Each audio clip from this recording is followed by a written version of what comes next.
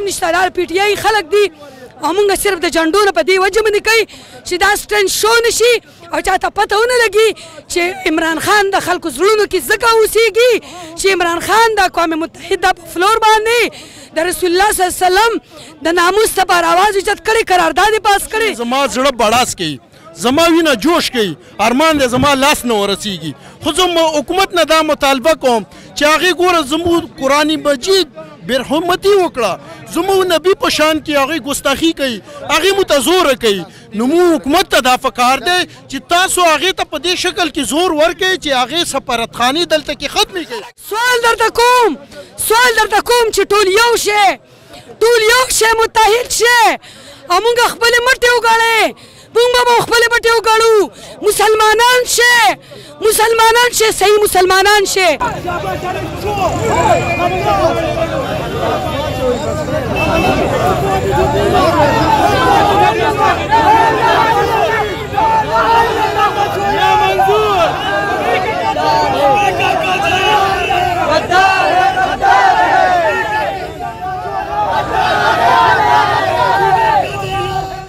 قدرمنو کتونکو دلته د پی ټی آی چې کم کارکنان دي هغه هم د چیرمن عمران خان په وینا باندې راوتی دي د قران مجید چې کومه به حرمتي شوی د هغه خلاف احتجاج کوي دوی سره به خبرې اترې کوي دوی سویل غواړي ستاسو نوم اول را سره تعارف یو منټ یو منټ تعارف را سره شازی ناز مجاهد پی ټی آی وایس پریزیډنټ پېښور ریجن نن څه مقصد د پاره نن نن چې دی نو دا حرمت قرآن چې کوم سویډن حکومت دغه دی اجازت ورکړی دی او دا کوم زمونږ زړه ته درد رسولی دی د دې خلاف مونږ روتی یو او مونږ هغې ته پیغام ورکول غواړو چې کم دا کم زمونږ زړونو سره تاسو لوبې کوئ انشاءالله مونږ به پوره دنیا کې مونږ به امت مسلمه مونږ به یو موټي یو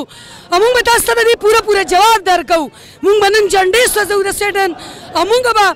مونږ حکومت ته دا رغه ورکوو چې دوی سره خپل سفارتي تعلق بالکل ختم کړي ځکه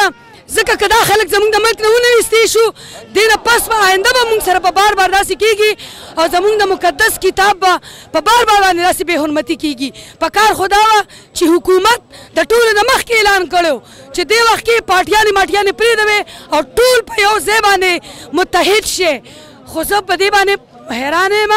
چې زمونږ د بیجانه دیوالونو د بیجا د بیجانه تنصیباتو خو دومره دومره دومره ډیر زیات د هغې لپاره پوره دنیا زمونږ دغه شو ختمه شوه زمونږ د پی ټی آی تیس هزار کانو قرآن نن په جیلونو کې بند دي او نن چې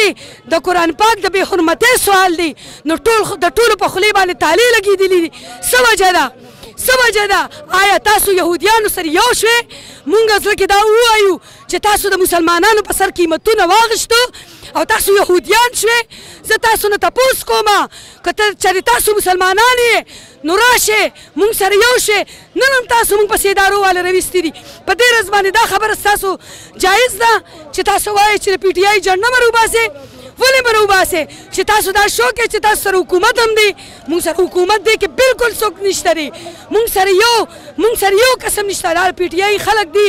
او مونږ صرف د جنډو نه په دې وجه باندې کوي چې دا سټنډ شو نشي او چاته پته ونه لګي چې عمران خان د خلکو زړونو کې ځکه اوسېږي چې عمران خان د اقوام متحده په فلور باندې د رسول الله صلی الله علیه وسلم د ناموس لپاره اواز اوچت کړی قرارداد یې پاس کړی او د قران پاک د پاره دغه یې کړی دی هغه مغرب خلکو په زړه کې اچولي او دا هغه مغرب چې کله نه یره پیدا شوې ده چې دا خو مسلمانانو ته یو داسې رهنما میلاو شو چې دا خو ټول مسلمانان په پوره دنیا کې خورېږي دا اسلام نو هغې رژیم چینج راوستو او عمران خان یې د کرسۍ نه لرې کو نو زه هغې ته دا سوال کوم چې اخر ولې تاسو د يهوديانو نن صرف د مال دولت لپاره یو شي تاسو به مرې نه تاسو قبر حشر عذاب نه نه یریږي تاسو د خدای نه نه یریږي د الله د قهر نه ویریږي نن زمونږ د پی ټی آی 30000 کارکنان په جیلونو کې په ګرمه کې دغه دی راته پرته شو تاسو زړه نه سوځي او نن د مسلمانانو زړه سوځېدو د قرآن پاک بې حرمتي وشوه او تاسو خاموش ناست یې سوال درته کوم سوال درته کوم چې ټول یو شی ټول یو شی متحد شی او موږ خپل مټې وګړې موږ به خپل مټې وګړو مسلمانان شي مسلمانان شي صحیح مسلمانان شي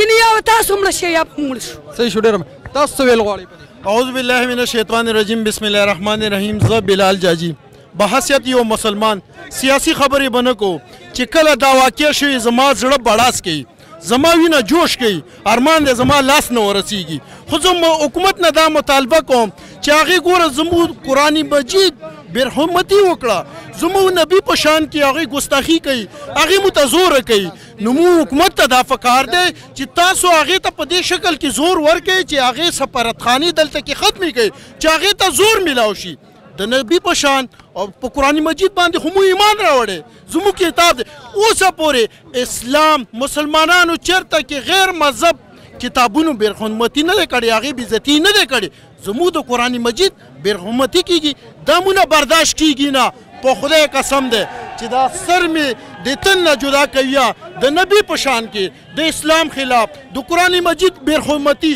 دا به کته زه برداشت نه کوم زه څه کوي ټول مسلمانان چې په ټوله دنیا کې څومره مسلمانان دي هغه وینه جوش کوي زما وینه جوش کوي خو افسوس دی چې زما دا لاس نه ورسیږي ټول مسلمانانو ته زه دا میسج ورکوم چې په ټوله دنیا کې دي چې مسلمانانو یو شی یو موټی شی قسم پر رب دی که څوک بیا دا رقم ته حرکت وکړي خو تاسو بې اتفاق یې تاسو کې اتفاق نشته تاسو د لیک فیلنګ سیاست کوئ د یو بل خپې وئ په دین مذهب کې د سیاست خبرې خو نن بالکل په کار نه دي نن مو په کومې ایجنډې راوتي یو اول ذاتي زه په خپله زه د عمران خان نظریاتي کارکون یم خو ماته دا پته نه وه چې نن به احتجاج څه ټایم کیږي زه د عمران خان په کال باندې راوتلم هغه نه ایله وه چې ماته بعد کې پته ولګېده ما ایمان په قرآن مجید راوړی زه به حضرت یو مسلمان یم چې کله زه ژوندی یم خو دا قسم ته حرکت به مانه نه برداشت کیږي مانه څه کوي چې ټول مسلمانانو نه نه برداشت کیږي اسلام زنده باد مسلمانان